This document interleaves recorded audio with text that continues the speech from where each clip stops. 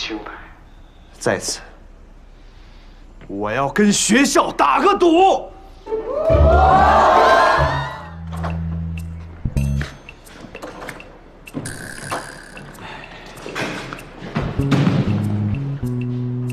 你刚才跟卢老师说什么了？你管那么多干嘛呀？被赶回来了？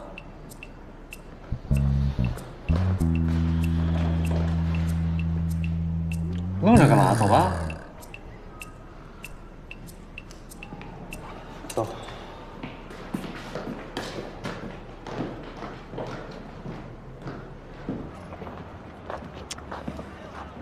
哎，你到底是怎么了？怎么故意把事搞这么大？爱装，就是你了。第一名有什么好的？值得你费这么大劲？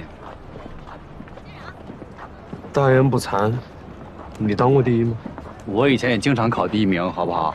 没什么了不起的，还不如吃吃辣条、打打游戏呢。快活似神仙啊！此感动。哎，你也不用太在意那些人的话。虽然以前都是你垫底，这次你不仗义的把我丢下了，我也不会怪你啊。以前都是我给你垫底，可不是嘛。这回你跑了，我回家可难交差啊，兄弟。有人举报我考试作弊这事儿，你知道吗？不举报你也跑不了啊，这明摆着的事儿吗？其实好朋友之间呢也是会吵架的，但是有时候说话不能说的太重，不然会伤了对方的心的。对，佳怡说的很对，就像我们经常听的那首歌。知道我反正跑不了，你就再来踩上一脚，对吗？你没事吧？接下来给大家带来另一首好听的歌曲，请杨洋为我们播放。哎，你又抽什么风啊，高文明？江宇，你惹错人了。我唱怎么样？练一晚上呢，我挺好。你叫他来。哎呦，你怎么来了，高明？喂喂。干嘛呢？我这可是广播室。哎。喂喂喂，喂。喂喂。我是陈，我是高文明。啥玩意儿？啥玩意儿？这次月考，我考了年级第一名，但成绩却不被学校认可，甚至有人污蔑我考试作弊。我能理解大家对我的质疑，为了能证明我的清白，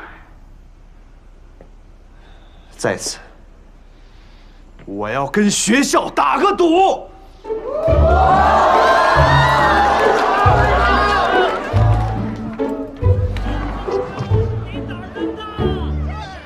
我接受任何形式的考试。听见了吗？所有的老师，文明，还有同学们，你们，你们都可以给我出题，题目类型不限。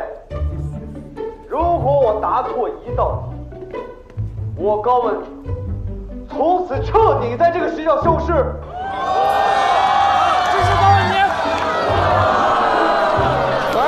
啊，你儿子越来越厉害了。疯了。